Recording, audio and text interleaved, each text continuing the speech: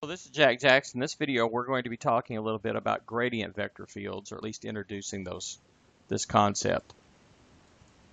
And last video, we talked about uh, vector fields kind of in general, about how to graph them a little bit. But if you think back to earlier in the course, one of the places that we've actually encountered vector fields before was with the gradient uh, of a function of two or three variables. And a gradient is uh, a function itself which takes uh, input as a function of two variables and output is a uh, gradient function. And that gradient function is uh, a vector vector field, right? So ultimately you have some x and y coordinates and you end up with a vector which is the gradient of the original function at a particular point, okay? So the gradient of a function of two real variables is actually a 2D vector field.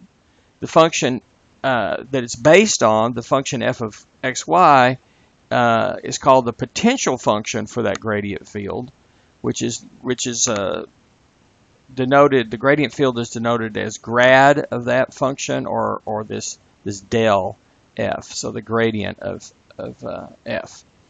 So uh, the vectors in the gradient vector field uh, if you remember, are always perpendicular to the contours of the graph of f. Remember, the graph of f is going to be some surface in 3D, but its contour graph is a set of curves in 2D, and the, the, the uh, gradients are vectors which are perpendicular to those um, contours. You might, might also remember they're the, they're the uh, direction of greatest rate of growth on that, and the direction of the largest um, derivative, okay, and directional derivative. And uh, for reasons we'll explain later, gradient fields are called conservative fields. So that's another name for a gradient field. I'll explain what that term uh, means in a later video. So here's an example. The gradient function of a function of two real variables, again, is a 2D vector field. And so here we started with the potential function f of xy equals a x squared plus y squared plus b for a and b given by some sliders here. And in this particular case, um, a is setting at 0.35, b is setting at 0.7. And we get this graph here, which is a, a, a uh, circular paraboloid. And if we were slice this with planes that are parallel to the xy plane, we're going to get circles. And we project all those circles back down on the xy plane. You can see that happening right here. You get some contours. Here I have contours for, for z equals 1, 2, 3, 4, 5, 6, 7, 8, 9, and 10.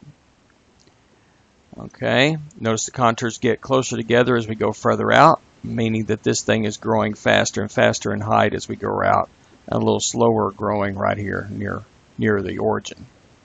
Now, the gradient of that is just the derivative. So if we distribute this, we get 2a squared plus a 2 we get sorry, we get a x squared plus a y squared plus b. Take the derivative with respect to x. Uh, the the b and the ay squared are treated like constants, so that goes to zero. a is a constant, x is a variable. So that's the power function that gives us 2ax. Similarly, we get 2ay for the partial derivative of f with respect to y, and that gives us our gradient function. Now we can graph that as a uh, vector field, right? Graph the vectors for particular uh, values of x and y. Remember, a is a specific constant, right at the moment it's 0.35. And we get vectors. You can see those vectors down here in the xy plane uh, you can see below this, and you can see them here. If we were to move these things up, we would move the contour up to the graph. It would be a slice in the plane, say z equals, well, if it's this one right here, for example, it's z equals 2.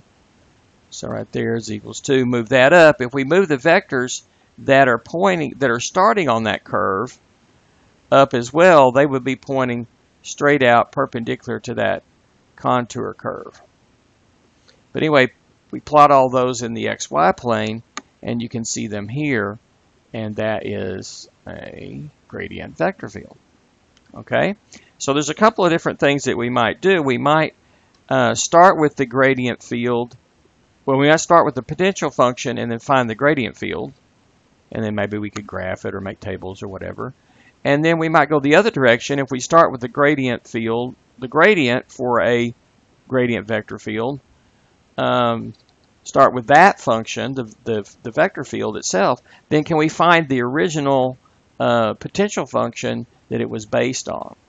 So basically, one's an antiderivative of a sort and one is a derivative of sorts. So let's do a problem like that, one of each type. So here's a problem for you. Uh, here's a function f of xy uh, equals 0.4 x cubed y minus 0.3 x. Find the uh, potential function, uh, that is the potential function, find the gradient function of that and then make, make a graph of it.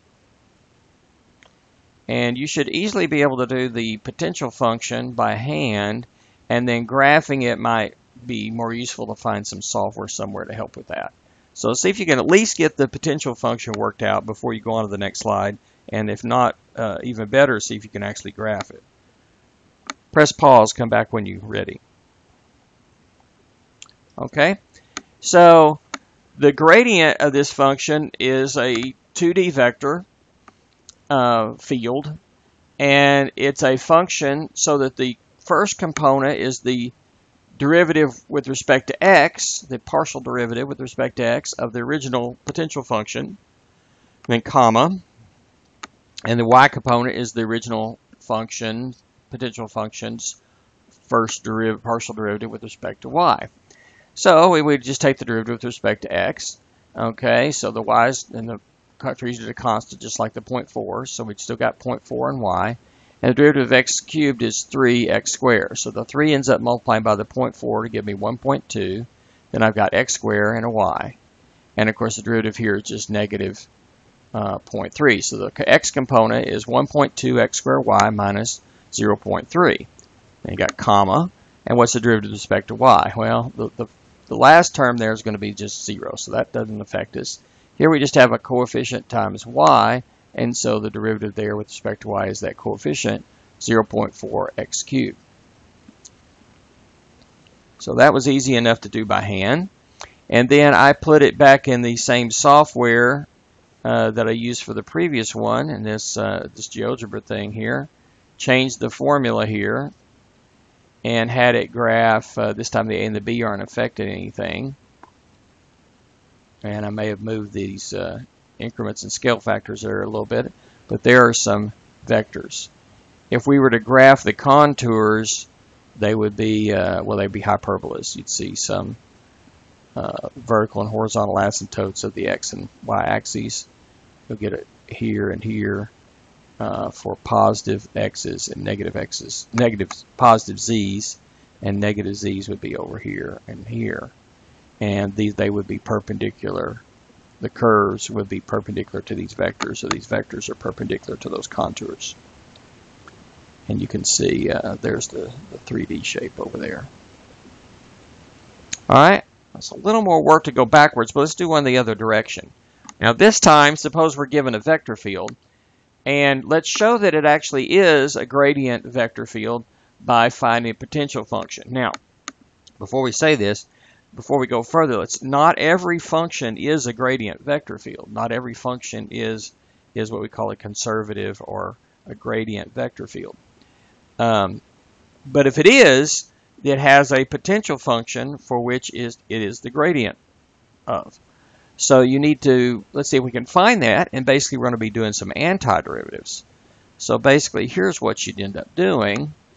We know that this first component, 3 sine y minus 4y cosine y plus 2 has to be the derivative with respect to x of the original function.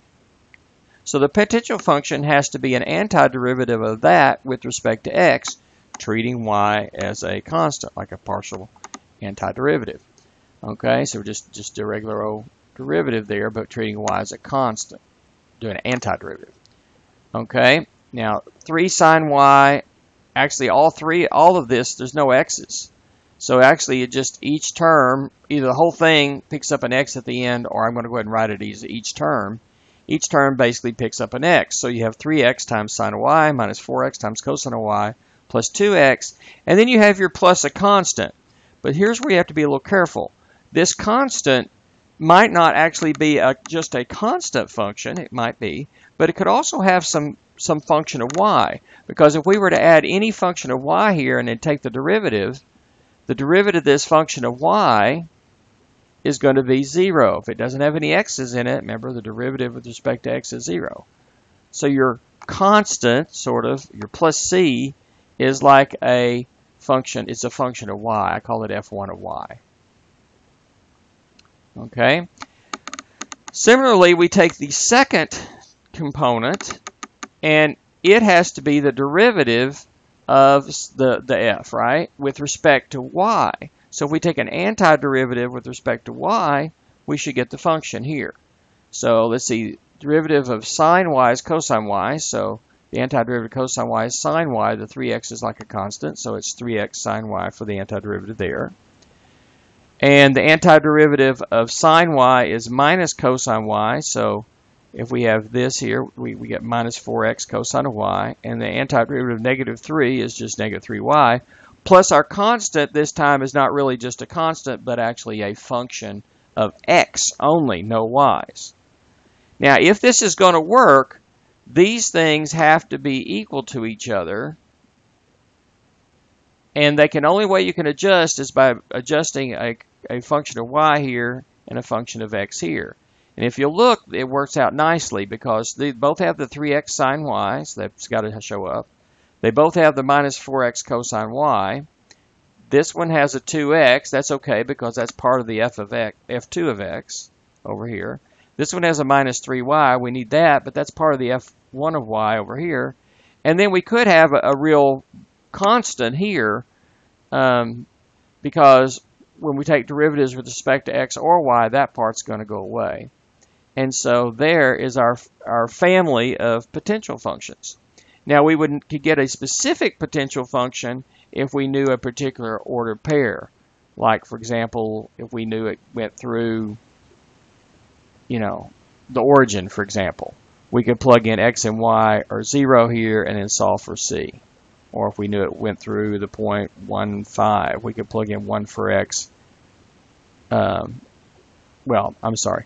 We, we could we have to know when x is 1 and y is 2 if we knew f or z is 5. We could plug in 1 and 2 for x, 5 here, and solve for c. So we could solve for a specific c if we know one specific point on the surface. But if we don't, we get a family of, of, uh, of antiderivatives here, which are called the potential function. Now let's just double check by going backwards. If we take the derivative of this with respect to x, this gives us 3 sine y minus 4 cosine y plus 2, and that's plus 0. So that's the first part. And if we take the derivative with respect to y, partial derivative there, we get 3x cosine y plus 4x sine of y plus 0 minus 3 plus 0. So that works out correctly. So everything works out just fine.